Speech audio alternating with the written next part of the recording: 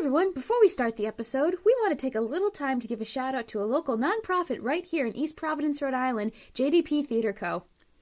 JDP Theater is a women's owned nonprofit theater that is committed to inclusivity, accessibility, and professionalism.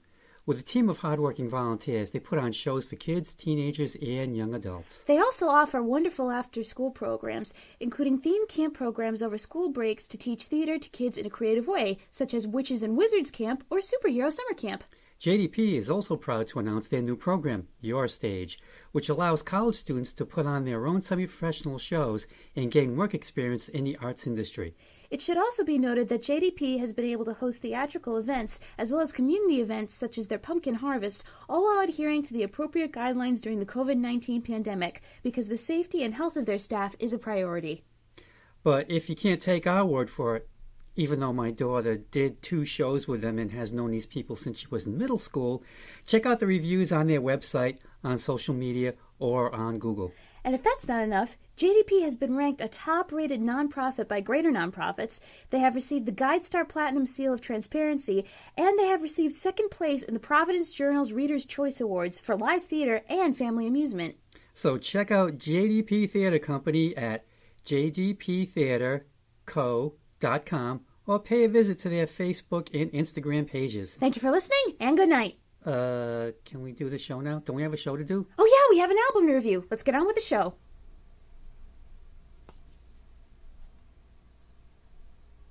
Hello, and welcome to the latest installment of My Dad Listens to This. I am Juliet the daughter. And as ever, I'm Kevin the dad. And Jules, who did you pick for this time? Well, we've sort of done George, we've done Bob, we've done Roy. So next in our Wil- Wilbury list, we're going to do Jeff Lynne and ELO. So, Dad, what do we need to know?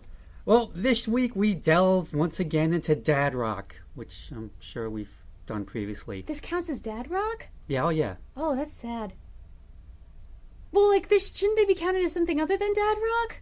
Uh, well, I did my research on dad rock, and they are listed as a dad rock band. Oh, okay. Is one, it? of, one of the finest. Oh, I was about to say, is that an insult, dad rock, or no? It it depends. Oh, okay. Being a dad kind of makes me feel old. Sorry. That's okay. Moving on. But another thing that said dad rock is it's like us boomers are pushing our musical tastes onto the younger generation. Ah. So if you feel that ELO and other bands have been forced on you, too bad. yes, and we are covering another traveling Wilbury as well. As you said, we've done George, Sort of. then we did Roy, Yep. then we did Bob, Yep. maybe someday Tom, Yeah, we'll do Tom eventually. and now it's Jeff Lynne's turn, whether he wants it or not. Yeah. Now, depending on your point of view, ELO is Jeff Lynne, or ELO is Jeff and some other guys, maybe. Most people, most people go with the former view. As such, we'll cover what Jeff was up to when the band took a 14-year break. Whoa. But first, we're gonna co- cover the band. 14 years. Is that, 14 years. you're going to tell us why, right? Oh yeah, we'll, we'll get Okay, to that. Don't, okay, don't worry. cool. I, I did my homework. As always. All right. Ah, the band, the Electric Light Orchestra, commonly known as ELO. Mm-hmm. They have a great logo. Yeah, they do. I They like do. it. It's very good. Never critical darlings, just uncool. Oh, Uncool enough to sell 50 million records from 1973 to 1986. take that, critics. And Jeff Lynne scorned by rock and roll snobs for daring to elevate himself to the level of Roy, Tom, Bob, and George in the Traveling Wilburys. Suck it, snobs. Is he in the Rock Snobs dictionary? yes, he is, Oh, as uh, no. one of the people that snobs are required to hate. Screw the snobs, man. For things such as his bubble hairdo, um, his Birmingham his Birmingham accent, which is more ridiculous than Ozzy's. That's where he's from. Yep. Okay. and then you know for daring to elevate himself to the same level as George Roy, Tom, and Bob. Well, they let him in, so you know, Yeah. yeah, they, they All made the choice. Anyway, Yep. back in 1968, Roy Wood of British band rock band The Move came up with an idea to form a new band that would use violins, cellos, string basses, horns, and woodwinds and rock out. Quote, pick up where the Beatles left off, unquote. I'm assuming he meant the, mag- the magical mystery tour of Sgt. Pepper Beatles. Basically, take Strawberry Fields Forever and run that sucker into the ground. now, Jeff Lynne who was fronting a Birmingham, that's England, not Alabama, Yeah. group, the Idle Race, was into the concept. When Move guitarist Trevor Burton left in 1969, Roy asked Lynne to join, but Jeff said no. He wanted to focus on the Idle Race. In 1970, when Move singer Carl Wayne quit, Roy Wood asked Jeff again to join. This time he said yes, but Oh no, there's always a but. and it's a big one, on the condition that they focused on the orchestra concept. Oh, okay. Their first song, meant to be a Move B side, was the 10358 Overture, written by Jeff. Yeah, we're just going to call him by his first name now. Yeah, that's fine. Okay. The number refers to the ex- escaped prisoner in the song. Now, the plan was for the Move to have their release, Looking On, be the final Move album. But in order to finance ELO, they put out one more album, Message from the Country, whilst also recording their debut, The Electric Light Orchestra. That debuted in December 1971. When it was released in 1972 in the US, it was retitled No Answer. Okay, how come it got retitled? Um, because I guess the record types in England were trying to reach Jeff, and the reaction was no answer. Ah, okay.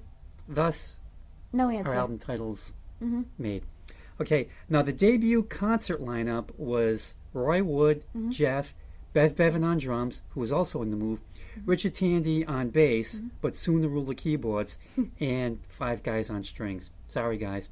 Oh, they didn't list their names. Yeah, they did. Oh, but, but but the thing is like like they kept changing the lineup over the years oh, I see. with different guys playing the uh, the orchestra stuff. Oh, okay. Okay. Roy Wood left during the recording of ELO's second album called ELO 2. the three Like Queen 2. Didn't they do Queen 2? Yep. Yeah. And unlike Chicago, who did Chicago 1, Chicago 2, 3, 4, 5, 6, 7, 8, 9, 10, 11, Umpty fuck. Yeah, I forgot what number they're on now. Yeah. But they actually titled one album Hot Streets, maybe because they didn't know how to do the number 12 or 13 in Roman numerals. Anyway, That, that's easy. Just add another letter I there you go. to the X. Anyway, ELO 2 gave the band its first hit, a cover of Chuck Berry's Roll Over Beethoven. Mm. And we'll have more on that song when we get to the review part. Yeah. ELO made their first appearance on American Bandstand that year as well. Oh, wow. In late 73, a third album, On the Third Day, was released. So that's two albums in one year. And Nice. Those were the days where it wasn't like five or six years between albums. Hmm. Album number three yielded the hit Showdown, which is not on this compilation, compilation but it is on others, and yes, I do have it on my iPod. Okay. For album number four, El Dorado, Jeff stopped multi-tracking the strings and hired a string arranger, orchestra, and choir. He was just going to go big on this one. Mm-hmm. Can't Get It Out of My Head hit the top 10 in the U.S. in 1974. Now the band is hitting its stride, cranking out an album of the year with at least two or three hits off of each one. They also appeared on the Midnight Special more times than any other band had on that show, 4 mm-hmm. times. Mm-hmm. The band also holds the record I don't know if they'd be proud of this, for Uh-oh. having the most Billboard Hot 100 top 40 hits, 20 of them, without a number one single of any band in U.S. chart history. Oh. I'm Casey Kasem. in 1977, they put out the double album Out of the Blue and went on a nine month, 92 date tour. Whoa. They had a huge set consisting of a hugely expensive spaceship stage, fog machines, and lasers because it was the 70s, man. Yeah. And I remember actually seeing it on TV. There was actually, this was the 70s, Mm-hmm. someone somewhere came up with the idea of, hey, let's do a TV show version of People magazine. And I do remember them covering ELO, and they showed part of the Out of the Blue tour, and this stage was just massive. Massive. They played Wembley for eight straight sold out shows. Whoa. By 1979, they were at their peak to the point of inspiring Randy Newman's parody, or maybe tribute, probably more the former, I bet, song, The Story of a Rock and Roll Band. And the irony is that years later, Jeff would work with Randy. Oh, really? Yep. Well, that makes sense considering how big Randy's family is in the music business, so it's hmm. not surprising. They also hit the top 40 six times in a one year period from August 1970 to August 1980. Once again, I'm Casey Kasem. No, I'm Casey Kasem. Oh, sorry. Also in 1980, Jeff was asked to contribute songs to the movie Xanadu.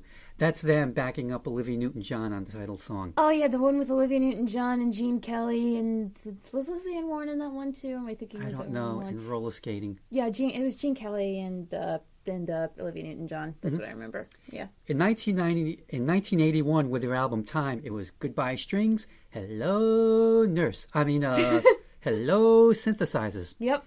After that, Jeff wanted to do another double album. CBS said no. It'd be too expensive and it wouldn't sell as well as a single disc.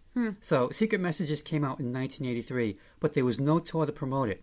Jeff was discouraged by that, as well as CBS telling him it was going to be one disc and not two. And he had a falling out with the band's manager, Don Arden, father of Sharon Osbourne. Really? Yeah, he he uh, also managed. Um, believe he also managed Black Sabbath, and then Oh. tried managing Ozzy solo until Sharon moved in, and they actually, father and daughter, just battled each other over Ozzy? over Ozzy. Oh, Apparently, Sharon won. I guess. I guess. Is her dad still alive or is he gone? I. Th- that's a good question. I, I want to say I think he might be gone, but he was known to have these sporadic appearances on uh, their show, The Osbournes, on MTV. What's his name? Don Arden, A R D E N. Don Arden, English agent. Do do do. Yeah, he died in 2007. Okay. So after all that, Jeff just decided, you know what? I'm calling it a day. Mm-hmm. So he moved on to producing. One of his first efforts was producing two songs for Dave Edmunds' album Information. One of those songs, Slipping Away, was Edmunds' return to the top 40 for the first time since I Hear You Knocking from 1970. So it was 13 years between top 40 appearances. So mm-hmm. Jeff must have known what he was really doing. meant it, yeah. He produced six songs on Edmunds' follow up, Riff Raff, and one song for the Everly Brothers reunion album, EB84. Oh, wow. But But, Jeff was contractually obligated to deliver one more ELO album. So in 1986, he, Bev Bevan, and Richard Tandy went in the studio as a three piece, and in 1986 came out with Balance of Power with the top 20 hit, Calling America. Hello? America? yeah. Is your refrigerator running? Go get it! There you go. You may want to catch it. Uh, the band did play a few shows, one of them the Birmingham Heartbeat charity concert. And who should appear on stage to jam on Johnny B. Goode? Chuck? One lonesome George Harrison, Oh, George. Okay. Oh, yeah, I think. What year did you say that was again? 1986. Yeah, Dhani Harrison said that he, I think he might have went to that concert another time. He went to one of ELO's concerts where George went on stage to play Johnny B. Goode, and because he was so small, he thought that aliens had abducted his dad. That probably might have been the one. Yeah. Um, in 1989, Bev Bevan started ELO Part 2, Roman numerals and all. He co owned the ELO name with Jeff. This version lasted till 1999. Bev sold his share, share, sold his share of the ELO name to Jeff in 2000, Whoa. who reactivated the band, and Bev ended up calling it the Orchestra Okay. instead. Um, but I'm getting ahead of myself. There's that 1986 1999 stretch Yeah. of Jeff's life that needs some going over. Yeah, what the hell happened? So in 19, in 1987, he produced George Harrison's comeback, Cloud Nine, Yep. giving George a number one hit with Got My Mind Set on You, which Uh-huh. is the very last solo Beatles number one hit. Take And- that, Paul. And the thing is, George also got the very first solo Beatles number one hit. My sweet lord. Uh huh. Now, here's what I'm bitter about. Why did they cut Jeff Lynne from the George Harrison documentary? All his stuff is on the DVD, but he's not in the movie, even though they have all these interviews with him. Just imagine him going to the movie theater thinking, wow, this is great, this is a film about my friend, and I'm going to be in it, this is cool. Hey, wait a minute. Oh, I'm on the cutting floor. Oh, I'll tell you, no respect. anyway, Jeff's association with George led to, the, led to the 1988 formation of the Traveling Wilburys. Please see our Traveling Wilburys episode for more. Thank you. and I, he sings lead on one of their best songs on Handle with Care, Rattled. Rattled. Yeah. Love that song. Jeff would wind up producing Tom and Roy as well, but not Bob. Not yet. But there's still time. I remember Peg commented on our Traveling Wilburys episode. She said, please no.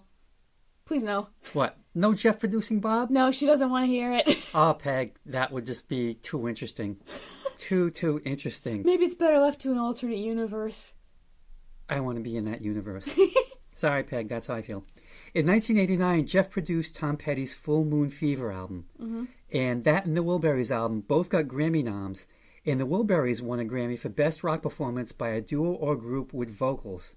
That's actually a complicated category. Yeah, it sounds complicated. In 1990, Jeff put out a solo album, Armchair Theater. In, ni- in 91, Jeff produced Tom again, this time with the Heartbreakers on Into the Great Wide Open. Is that where he appeared in the music video for I Won't Back Down with Ringo and George? I Won't Back Down was from Full Moon Fever. That was solo. Oh, so back back then. Yeah, Yeah, yeah. okay. Now, in 1994, at George's request, Jeff worked with George, Paul, and Ringo on the Beatles anthology project, which, re- which resulted in a virtual reunion with John via the songs Free as a Bird and Real Love, which uh, kind of. Eh. I mean, Really? it doesn't soil the Beatles' legacy as a whole, but they're kind of like.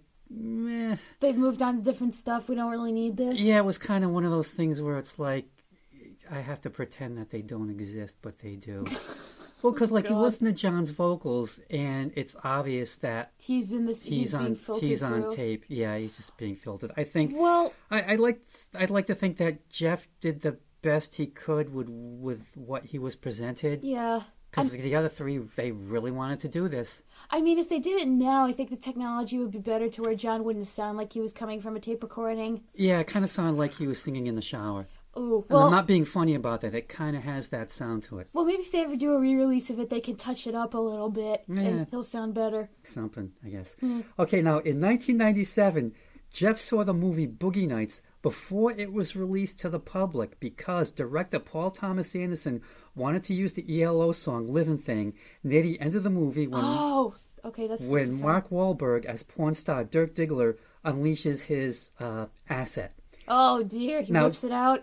Je- yes, I saw the movie. Yeah. Uh, Jeff has said he's not a fan of sex and violence in the movies, and he's very particular about his how his songs are used. Yes. And Paul Thomas Anderson said that Jeff was the only person who asked to see the movie first. Like he he went to other people and said, "Hey, I want to use your song. Yeah, sure, no problem. Give me the money."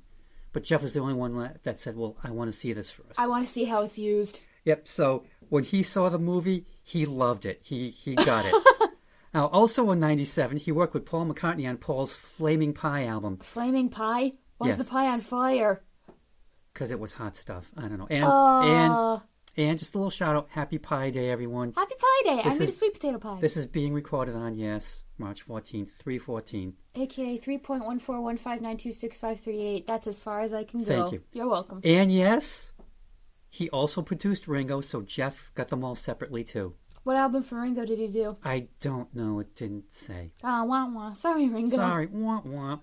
Now, in 2000, Jeff reactivated ELO, first with a box set Mm-hmm. called Yellow. Flashback, I think. I can't remember. Sorry, I should have wrote it down.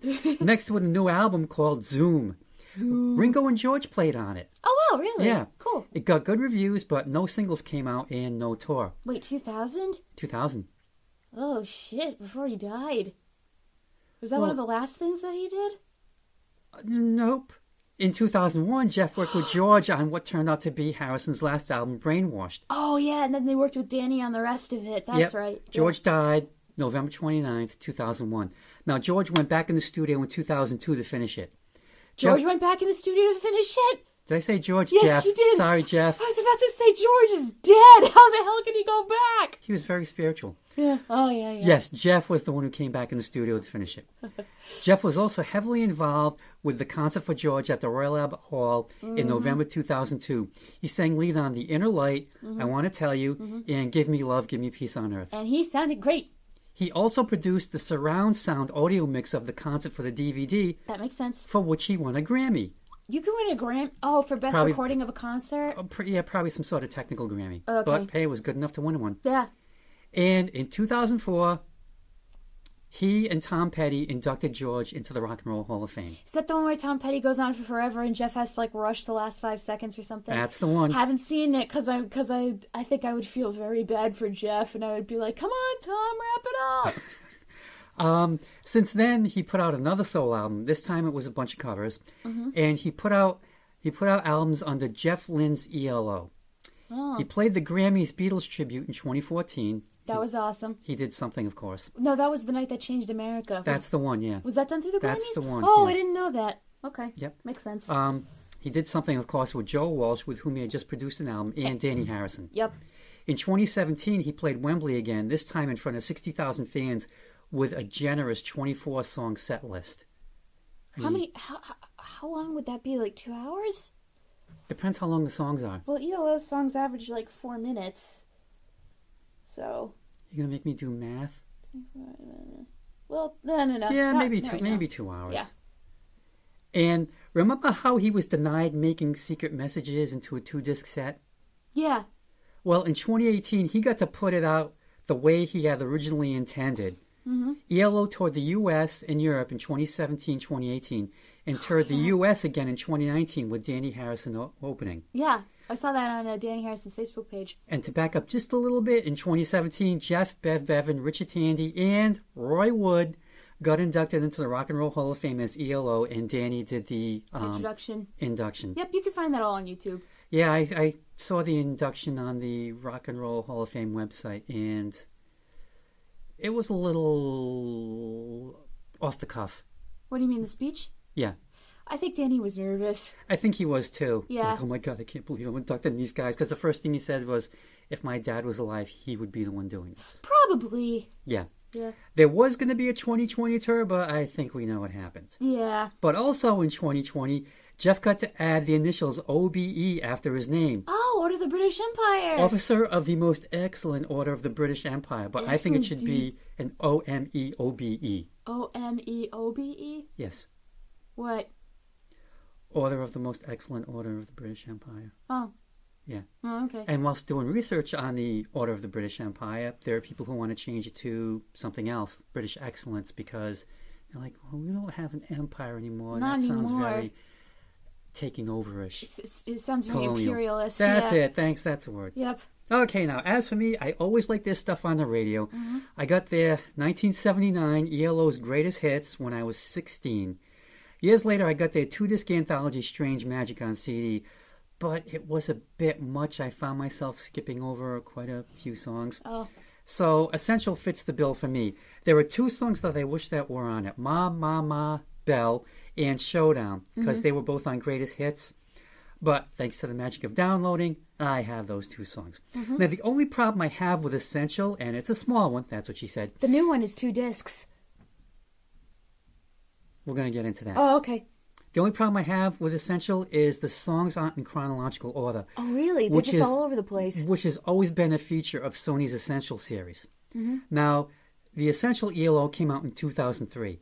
Five years later, it was rebranded as part of their what they call playlist series. And it was Playlist, the very best of the Electric Light Orchestra. Now, in 2011, the Essential Electric Light Orchestra was released or re released as a two disc set, but But with edited versions of some of the songs. Never a Oh. good thing. You've got all this time on the disc, fill it up. Mm-hmm. They were able to do it with Strange Magic. They could have done it with this one. Mm-hmm. Anyway, let's review the songs. all right, song number one, "Evil Woman." As soon as the orchestra plays those opening notes, it's a jolt to the system, and you're intrigued. So I can see why they picked this as the opening track. I think this might be the best breakup song a person could dance to, other than "Enough Is Enough" with Barbra Streisand and Donna Summer. Wow, that's an unusual combination. Hey, it kind of works. Breakup Yeah. songs you can dance to. But think about it. There's reason to dance. The evil woman who hurt you is getting her comeuppance, and she comes crawling back to you, and you stand over her with a smile on your face. You want to know how you got here? Well, allow me to explain. And you just dance with joy. Two, two tiny details I also love about this song the brief little orchestral distortion in the middle, and Jeff Lynne paraphrasing Ben Franklin with A fool and his money soon go separate ways, and you found a fool lying in a daze. Shows you're smart without being insufferable. Just the right touch. Nice. Yet this song also opened ELO's greatest hits, and I think it has to do with that song's opening. You just mm-hmm. hear it, and it just kind of like sucks you in. You're like, whoa! And then these keyboards kick in that make you wish you knew how to play the piano. Yeah. Uncle Joey knows how to do that. He knows how to play the soul for riff. evil woman? Cool. Yep. As a great drum sound. And as for the woman in question, she sounds bad, But not but evil. truly evil.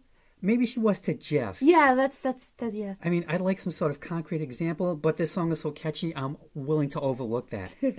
And with those ha-has, it sounds like Jeff got his payback. Uh-huh. But again, that's left to our imagination of how he got his payback. But he's feeling pretty good about how things turned out. Who are we to rain on his parade? I don't know. Yeah. Next song. Do ya? Yeah. Ooh, that opening guitar slide followed by that crescendo. When I saw the title, I thought, this can go one of two ways. Either the title is a question, like, you know, like, do you love me? Or, yeah, baby, I'll do ya.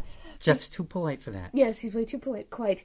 But again, those orchestrations, especially before the chorus with the but I and the that wasn't my vocal best, sorry, and the harmonies layering on top of each other, and then becoming almost percussive with a musical triplet. I think you know, mm-hmm.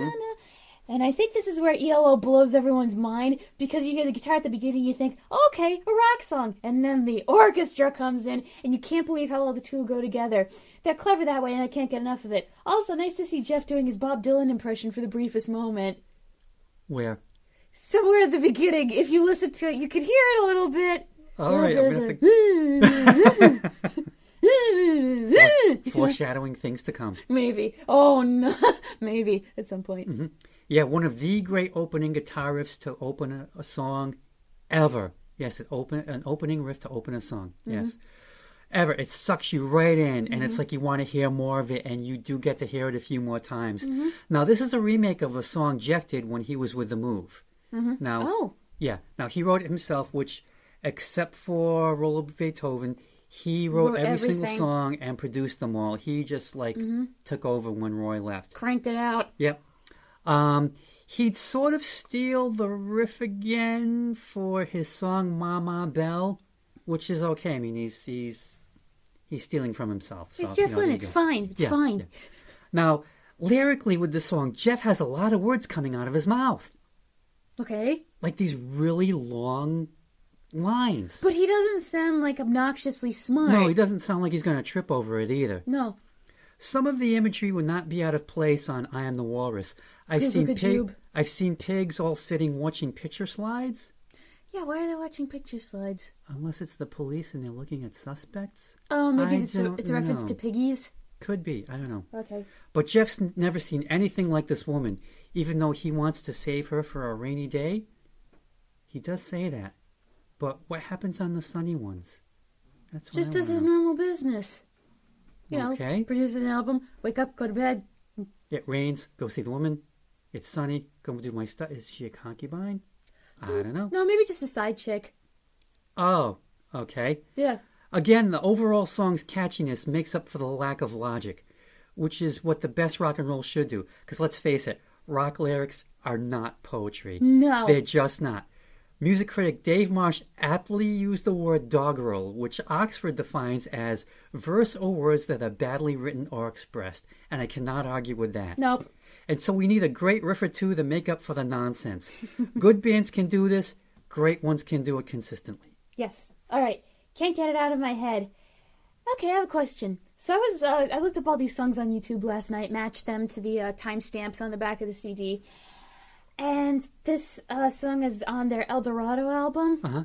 How did they get away with having a picture from the Wizard of Oz on the album cover?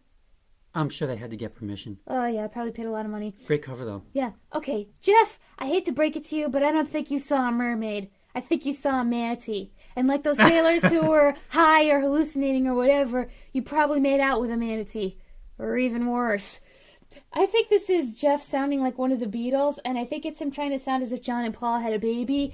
As for the song, it's still fun and has a good quality of sound, but it's a bit too spaced out for me. Like, I don't hate it, but he does sound like he's on an LSD trip. Maybe if I was on that trip with him, then I'd be excited too seeing what Jeff was seeing. but since I can't, all I can do is shake my head, smirk, and think, God, he's so high right now. Well, I kind of look at it as like the ocean's daughter as a muse. I think Mm-hmm. like this is going on in his mind. Maybe either that. Well, you know, if you saw a woman walking walking on a wave towards you, you probably could never get that out of your head either. Mm. But I kind of go with the muse thing. I, don't know why. It seems to be some sort of like maybe Greek Odyssey Mm-hmm. fable thing going on. Anyway, and the lines that always confuse me, but I like Okay? uh, the lines about the uh, bank job in the city and Robin Hood, William Tell, Ivanhoe, and Lancelot. Yeah. I don't get it. And favorite line morning don't get here tonight deathless morning gets here in the morning morning Yeah. doesn't get here at night No.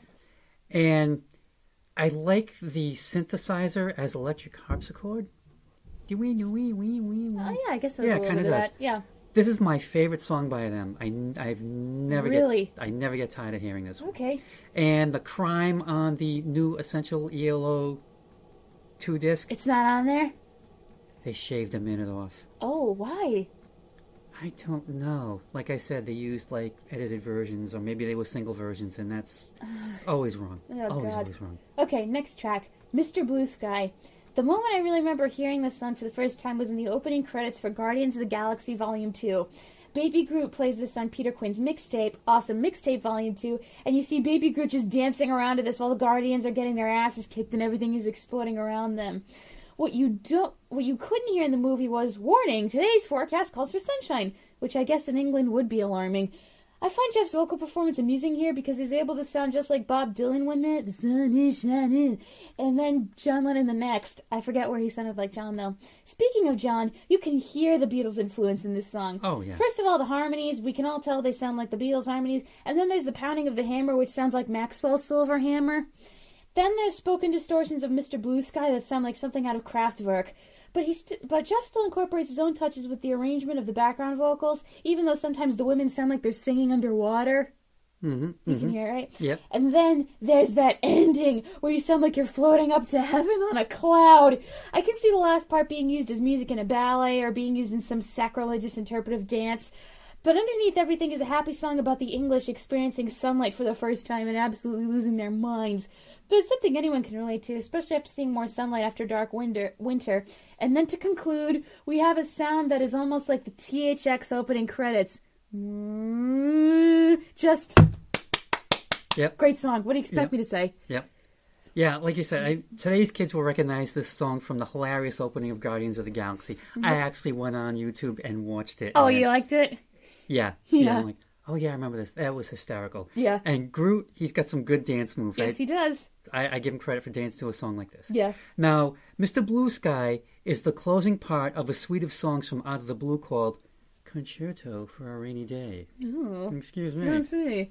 Yeah, so it kind of makes sense lyrically with some of the things about, you know, uh, forecast calls for blue skies and um, so on and so forth. Mm-hmm. I can't remember any of the, uh, the other lyrics at the moment. Yeah, I think it kind of borrows or steals from the Beatles altogether now. Doom, doom, doom, doom, doom, doom, doom, doom, A, B, C, D. Sun is shining out. To...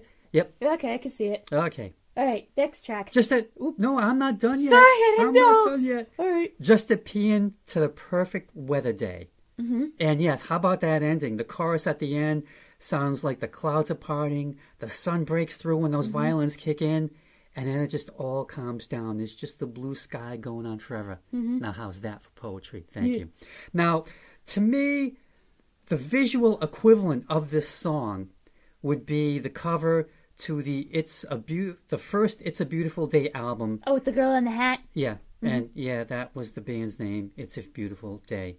Yeah, it's an illustration of a woman standing on a hill, basking in the perfect day, dominated by this perfect blue, sky, and there's probably a slight breeze because she's got to hold on to her hat so it doesn't blow off. Doesn't that album suck though? No, there's one have to have great song on it called White Bird. Okay. which I brought the disc from the library and downloaded it. But I actually saw the vinyl itself at uh, Four Echoes Antiques. And you framed it. Got it for four bucks, framed it. I just got to find a space to Put hang it. it- up somewhere. Because if you look behind you, it's over there in the corner. I can't see it without my glasses. Oh, trust me. Oh wait a it's- minute, I think I passed it by before. Oh yeah, yeah, yeah. There it is. I see it now. Okay, Okay. now Mr. Blue Sky, that is my second favorite ELO song. Okay, good choice. All right. Strange Magic. Okay, this song definitely feels 70s, but not in a bad, cringy way, in a comfortable way. Which makes me want to ask something. Go ahead. So, in the 70s, the most popular dance song at weddings was You Light Up My Life by Debbie Boone, which I have danced to before in ballroom dance lessons for waltz because it's a slow enough tempo where you can kind of get the one, two, three, one, Okay. two. So, I so want to ask, why wasn't this a popular wedding song? Strange Magic? Yeah, I can see it working. Huh? Right? I- right? You thinking about it? See it, I guess. Yeah. I mean, tempo wise. Yeah. I could see a couples. I could see couples in the '70s slow dancing to this, romantic and cute without being too saccharine. All right, so Uh, if you if you ever get married someday, I expect you to. No, to- well, maybe not. I don't know. I don't know. Well, I- I'll get into that Are, later. are you holding out till 2070? God, no. A bit off kilter, but not enough to be pretentious. And while he says the dream will end, it ends with them falling in love, maybe even deeper than before, not with something terrible happening. I feel like you could slow dance to this now, but it might be too dated for today. Although, if you and your partner like it, then go for it. Like, I don't want to pick a song that my partner's not going to like. Sweet song, very and very good, but I don't think it's one of the best on here. Good, but Yeah. You know, I have yeah. no idea what this song's about. it's about love. None. Okay. It's a love song. That's all you need something about Jeff's dreams working a strange magic on him. Mm. I, I he he does write about dreams a lot in the, in his songs. Wonder what his dreams are like. I don't know. Maybe this is him trying to tell us. He's getting critical respect in his dreams. Huh. I don't know. God. Um, when, when I when I scanned the lyrics on um, azlyrics.com, I noticed that the bulk of them are the chorus, which works for me because it's very catchy. Yeah. And I love the strings of that going up, Going going down. down. It sounds better in the song. than Yeah. that. All right, next track, Living Thing. Ooh, we need more violin and saxophone duets because the two instruments they're often associated with romance and sex, and I never thought of pairing them together, but it should be done more often. Now, this song is fine, and it still has a great sound, but it feels like a repeat of Strange Magic because they share the same theme and they both say the word magic. I also think that maybe ending with a fade out wasn't the right choice because this is ELO. You expect some sort of climax, be it piano or fortissimo. So, not my favorite song. Good music, but could have used different lyrics. Uh, the chorus worked so well for Boogie Nights. Oh my god! as soon as soon as the song started coming, I was I just lost it. I just started laughing out loud. Hmm. It's a living thing. It's a terrible thing to lose, and it would be. Oh, God, okay. wow. yeah, the verses more dream imagery, I guess. And as an aside, not to sound lazy, I really do listen to and read the lyrics of the songs we discuss. But God help me, a lot of time I have no idea what their point is supposed to be. Nah. Again, doggerel. But you know what? Maybe it's just not worth the investment of my brain cells. I don't know. I mean, I, I will try. I will give it like, you know, so much time until I have to throw up my hands and say, you know, the hell with it. Mm-hmm. And maybe that's why the choruses are a lot in a lot of pop music are more intelligible than the verses. Fats Domino was the one who said you should never sing the lyrics out very clearly Really? because his thing was like let people try and figure out what's going on. Huh. And then Mick Jagger picked that up, but he kind of went a little better, where you understand all the choruses to their songs, but you have no idea what's going on in the in the verses. I can't get no. Exactly. yep. Yep. All right, turn to stone. Okay, I know this song is supposed to be romantic, it rubs me the wrong way. She leaves the house and he completely shuts down. Dude, you need a life outside your partner. you cannot let them be the center of your world, otherwise, you'll be burnt out and they're going to crumble under the pressure. As for the little rap section, I think that's what I'm calling it, it just feels like someone trying to prevent you from leaving by barraging you with toxic pleas. I guess this is supposed to be romantic, Jeff. I'm sorry, but with the repetition, it just sounds like someone who's too clingy, and it doesn't move me to passion. It makes me want to run the hell away, especially with the hellish ending. Although I do appreciate a reference to the Beatles' "A Day in the Life" with that end of the world sound at the end. Yeah. Yeah. Now, with the fade in, this is the song that opened the two record set out of the blue. Mm-hmm. And it makes sense. It's like the songs just come out of the, well, you know. Mm-hmm. Jeff's woman is gone and he can't carry on. He's like a mess. Either she's got like something that no one else in the world has, Mm-hmm. or he's just kind of a needy guy and needs to, like, like you said, get a life, occupy, on his- the ladder. take up a hobby, make some puzzles, do crosswords. She's gonna come back Mm-hmm. eventually, maybe, but not if you keep acting this desperate. Yeah. And like he's paralyzed by it. And you know, after all these days, I still cannot sing along to that. Yes, I'm turning the stone because you ain't coming home, as you call it, the rap part. Yeah, well, that's the closest so thing I could think of to Yeah. call it. Yeah. And yeah, how about that ending? It just builds and builds and builds as it fades out. It's almost like the opposite of what you said about a day in the life, where it's like that that one chord and it's just going on and on and it fades out. But this, it's like it's like it's building and building and building, and you're wondering what's going on, what's going to happen, And then you don't hear the chord. you're denied. Yep. Now, if you get a chance, check out the lyrics on azlyrics.com because um, the words with which the chorus responds at the end of each line in the verses are all in caps. Really? It's hilarious. Okay. It's like it's like I feel like I'm being yelled at here. Maybe they're trying to make themselves heard over the music. Or maybe they think, well, more than one person singing this. A lot of people are singing this, so it needs to be big. Big. Yeah. All right. Sweet talking woman. Sounds like someone said the wrong thing to this sweet talking woman because apparently there's been a communication breakdown and now she's on the run. Uh oh.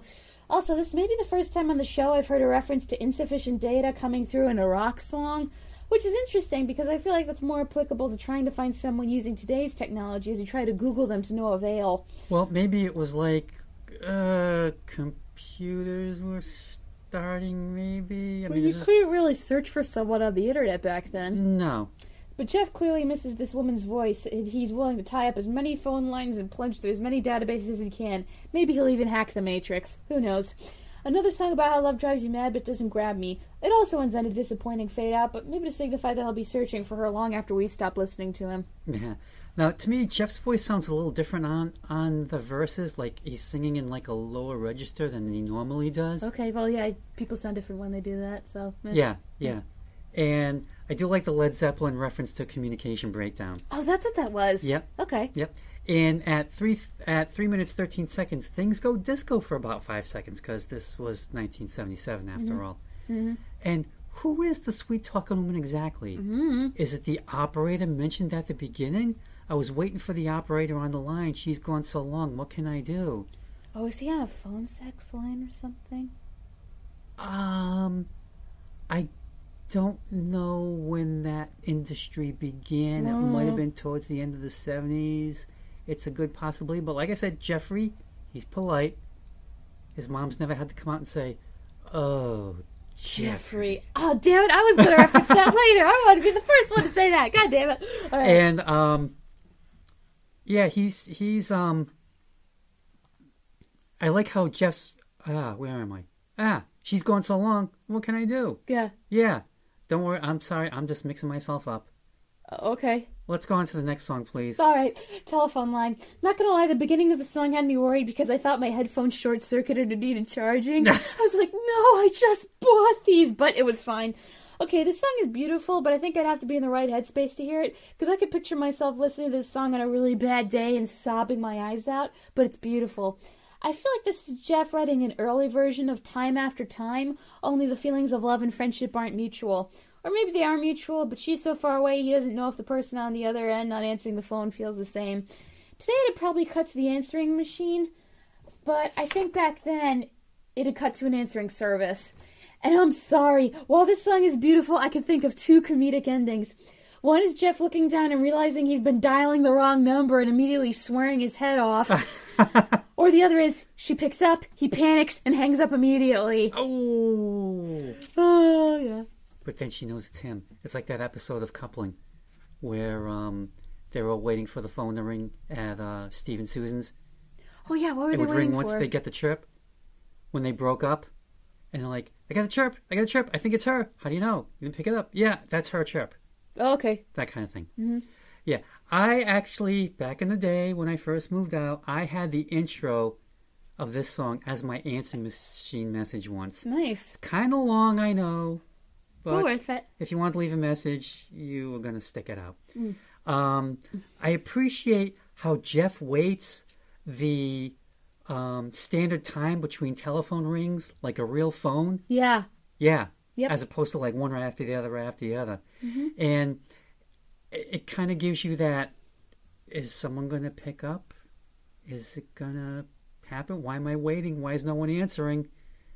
Hmm. And I like how Jeff's voice fades in. Like he so- he sounds like he's on an actual telephone at first, Yeah, it but then he gets clearer and clearer. Yep. And yeah, he's calling to find out where it all went wrong, and she's not answering. And you know what? At least he's just not showing up at her place unannounced. Yeah. Manners matter. Now I have a question. How did people record uh, songs for their answering machines back in the day? Oh my god, this was tough. I think I had um, oh my god, I had the song Mm-hmm. on cassette, Mm-hmm. which I taped from my vinyl, and so I had a portable little tape player. I had to hold it up to the answer machine, press record. That's what I thought. Yep. Hey, you know, and that was 1991. I think I did that. Gotcha. Um, yeah, you kids, you got it made. And right. the uh, uh, I wish the- we could have songs for our answer machines, though. That would be fun. Well, you could probably do the same thing if you get that old technology. Hold it up to the machine and Oh yeah, record a new voicemail and then just hold it up to the speakers. Yep. Um, the, Maybe I'll do the police one. Is that my mother on the phone? I did that one once. mind. Yeah, you told me that. Yep. And I, well, the first time I listened to that song, I freaked the hell out. I was scared. I was like, and I actually did a couple of um, Bart Simpson uh, calls to Moe's. Oh, nice. Oh yeah. Um, the line about blue days, black nights is a nod to the Buddy Holly song of the same name. All right, next track, "Shine a Little Love." Very mystical opening, and then and the album cover for this was like I think uh, a Sikh or some sort of uh, either an Indian Sikh or a Middle Eastern guy in a turban holding up ELO's album in his hands. And the rest of this song shoots off like a rocket after that introduction. I almost jumped. I actually jumped in my chair. But wow, this song is fun. I was dancing to it while checking on my sweet potato pie in the oven last night. Jeff is reminding his partner, look, you don't have to worry. I love you, and no matter what, we're going to have fun together. It seems like he cheers his partner up because we have a bit of a call and response. Can you understand? Yes, I understand, etc. And I think I noticed something interesting about ELO. With some of their songs, they're trying to create dance songs without being 70s disco. Interesting. You should mention that. And it works. And I think this is the song where the fade out really works because you can see the two characters dancing it out into the night and having fun. Mm-hmm. Now, uh, in doing this podcast and listening to these songs, Uh huh. this was the first time I listened to this on headphones, and I never knew how trippy that intro was. Right? I mean, I, I was just surprised. I'm like, I'm like, I've heard this song so many times, I never noticed that before. That happened with a couple of other ones too. Um, I think it might have been um, maybe "Hold On Tight." It was like a little part at the beginning which I never noticed before, but the headphones really brought it out. Anyway, yeah, it is kind of a disco-sounding song without being overtly so. Yeah. Not that there's anything wrong with disco. Yours truly has, you know, few few albums. Nile Rodgers and Chic. Donna Summer, Donna Summer, yeah. Dr. Buzzard's Savannah Band, Mm-hmm. Uh, Saturday Night Fever. You have to have Saturday Night A Fever. whole bunch of people. Oh, by the way, Nile Rodgers was in the news recently because I think he had he was testifying before UK courts about copyright laws. Ooh, nice. Hope Yeah. he wins. Um, yeah, for this song, it sounds like keyboards have replaced the strings at this point. Mm-hmm. Catchy chorus as always, but for me, kind of so-so version verses. You got a, you got a lot more out of it than I did. Yeah, I liked it. But I like that.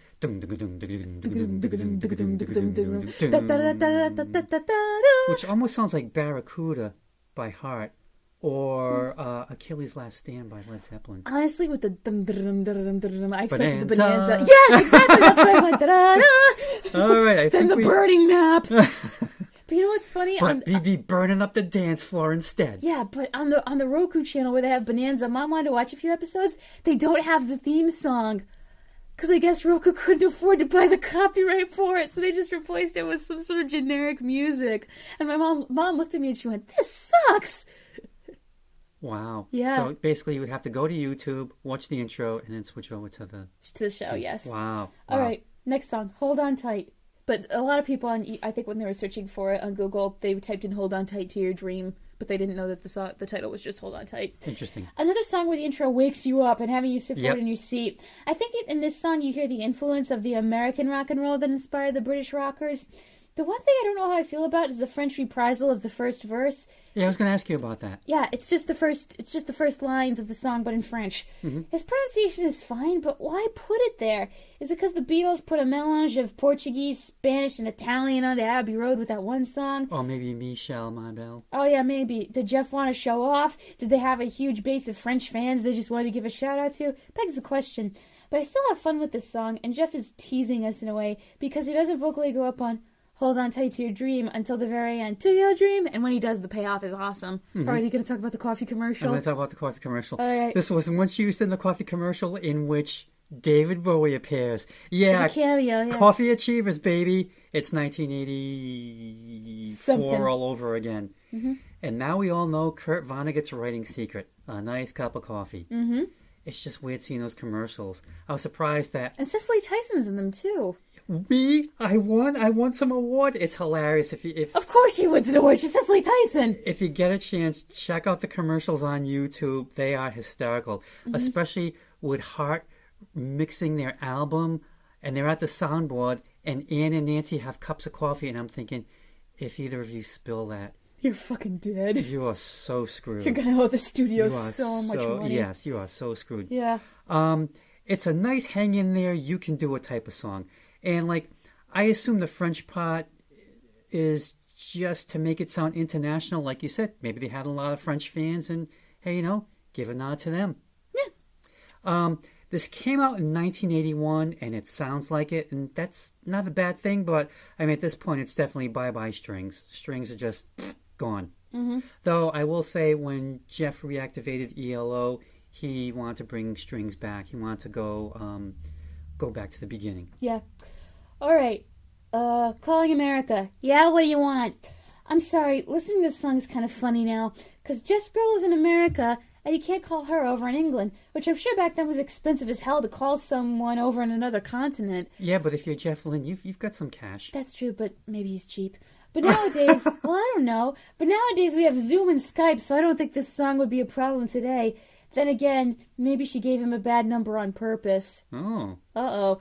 Also, she was told that there was a place like heaven, which I have to say, living in this country and listening to this song post the former guy's presidency, I'm like, oh, honey, no.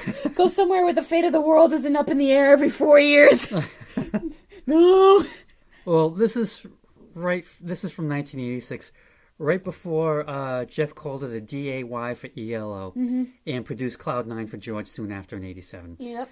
This song is it's it's okay. It's yeah, not it's meh. overly memorable.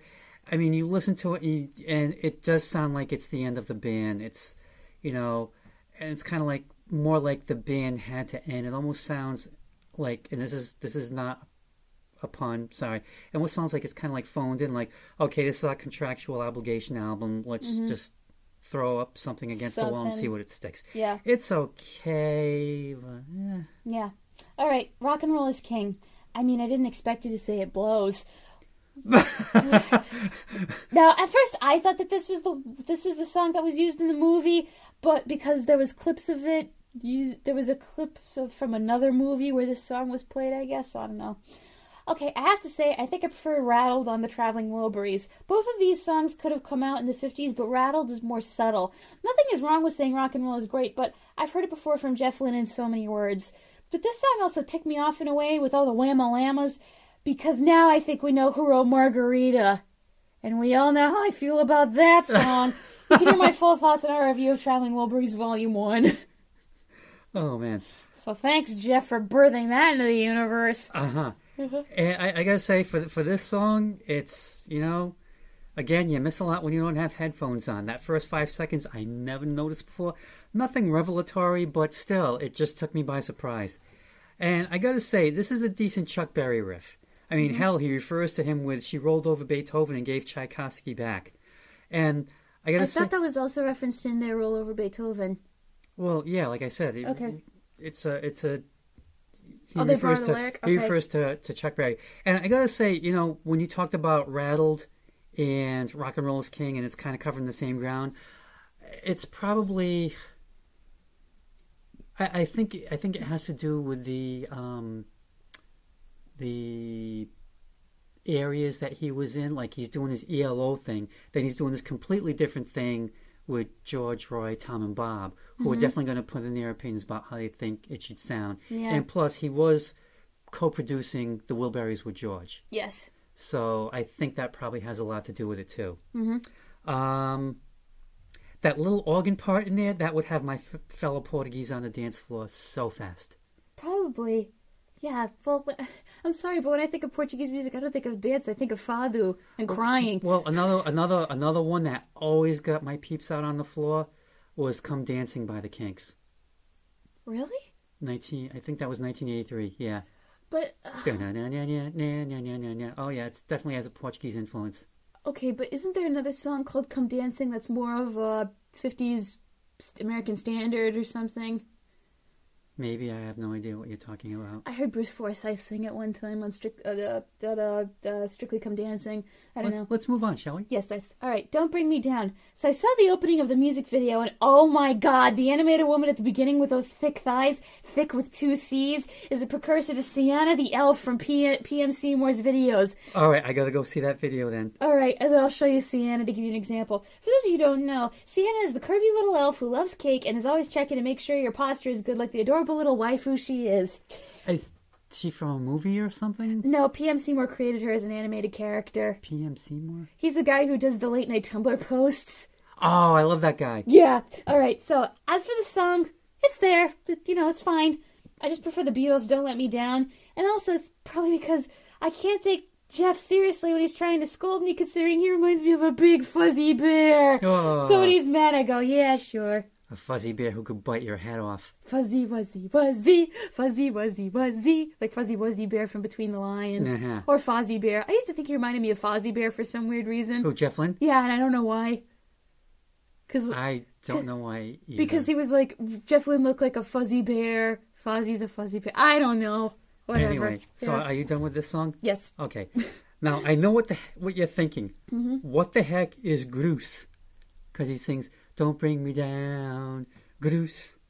You know what it is? It's a sound effect. It's G R O O S. It's a placeholder because Jeff used it to fill in the lyrical gap. He was trying to come up with some sort of word. He couldn't.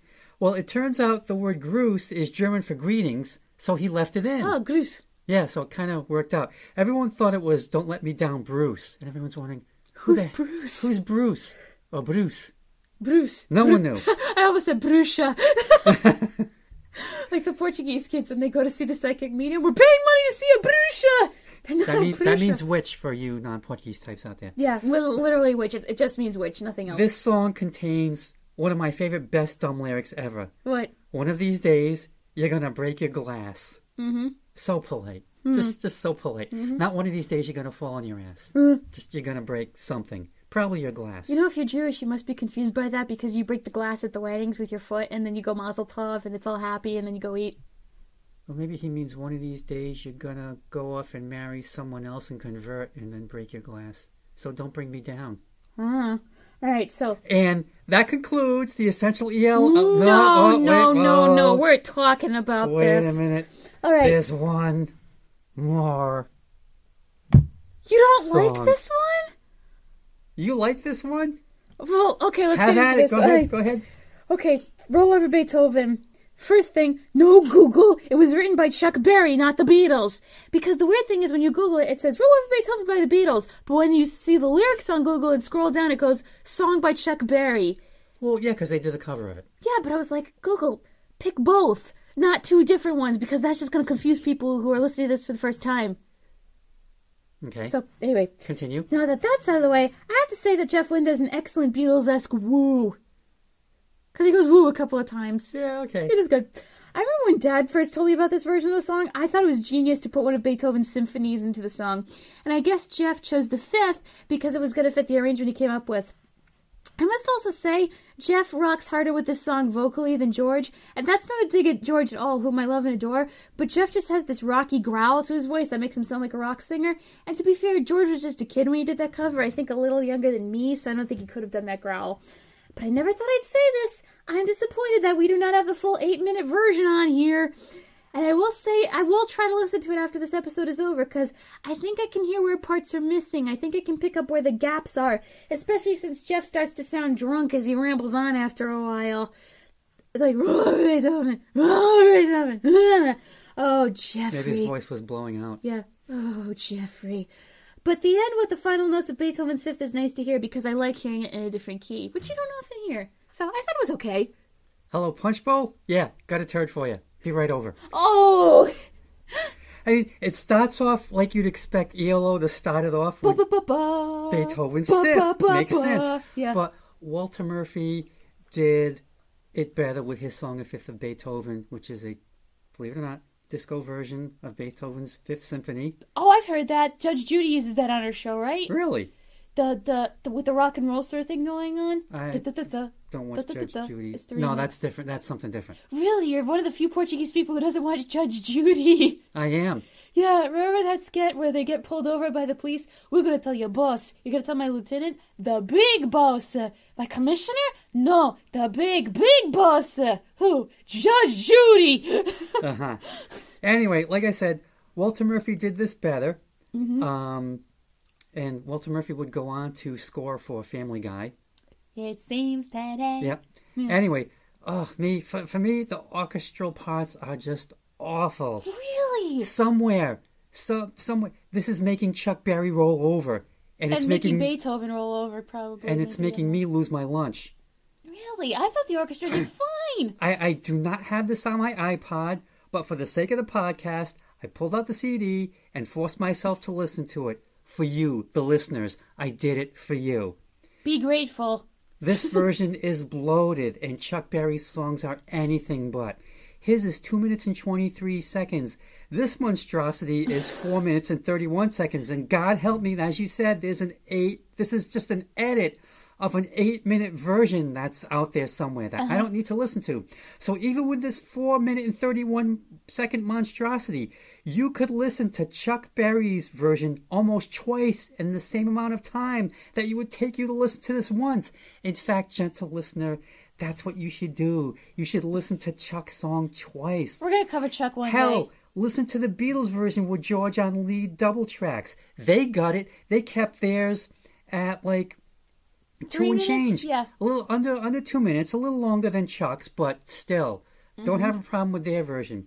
And um maybe I should save this story for when we do Chuck someday, but what the heck, I'll tell it now. The reason he wrote the song was that in their house, um his sister was all about the classical piano and he wanted to like get into this rock and roll and bang out fun tunes. So he kind of looked at it as like no this is the new music that's coming along. Mm-hmm. So you know roll over beethoven. Plus maybe beethoven might even be into it. You never know. But mm. yeah this is to me this is just uh, uh, Okay, okay, we get it, we get it. pukalicious Yeah. All right, so I've got a confession to make. I've listened to this album before, sort of.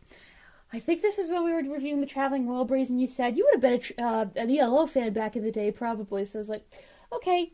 So I listened to it. The problem was I had a medium iced decaf Dunkin' Donuts coffee with cream and caramel, except they got my order wrong, and they didn't give me decaf. They gave me caffeinated coffee. So I'm sitting there listening to this album, the caffeine coursing through my body, and I'm listening to this album all spaced out. Then I'm like, whoa. Because the caffeine just has me so energized that listening to this music, I was like, where's this been? Like, I was, uh, I was crying while I was listening to it because I was just so out there. I guess for me, this is the equivalent of listening to an album on drugs. Uh-huh. well caffeine is considered one Yeah. So now that I've listened to this album sober, overall, ELO's awesome. Not every song was great, but all of them were good. And when the, the ones that were great just soared. I think I would have been an ELO stan if I grew up in the 70s. I probably would have never shut up about them being true art, but that's not to put them down. They are very artistic. So it's not quite the same as when I first listened to this album with caffeine jitters, but I still danced and had fun all the same. Mm-hmm. now despite that last song this is an extremely strong elo collection Oh, yeah. one disc is pretty much all anyone needs for like the casual fan. I think if you want to explore more, definitely go for the Strange Magic compilation. I'm pretty sure you can probably find it on Amazon. It's still out there. Mm-hmm. Um, for me, I wish this song "All Over the World" was on here, but hey, you know, mm-hmm. I can probably find Strange Magic at the library and get it from there. Yeah. All right, as always, thank you for listening to the latest installment of My Dad Listens to This. Like, comment, subscribe, tap the bell, and all that jazz. Follow me on all my social media platforms if you want to know when the next episode is coming out. And maybe when I have my acting website up, I'll be able to post the episodes on there. And if you're friends with my dad and you want to get the episodes through him, you can email them right to your inbox. Thank you for listening to another installment of My Dad Listens to This. We'll be back next time with another album to nitpick and gripe about. Dad, any final words for our viewers? Nope. Thank you for listening. Thank you for listening, and happy Pie Day. Go eat a slice of pie. You deserve it.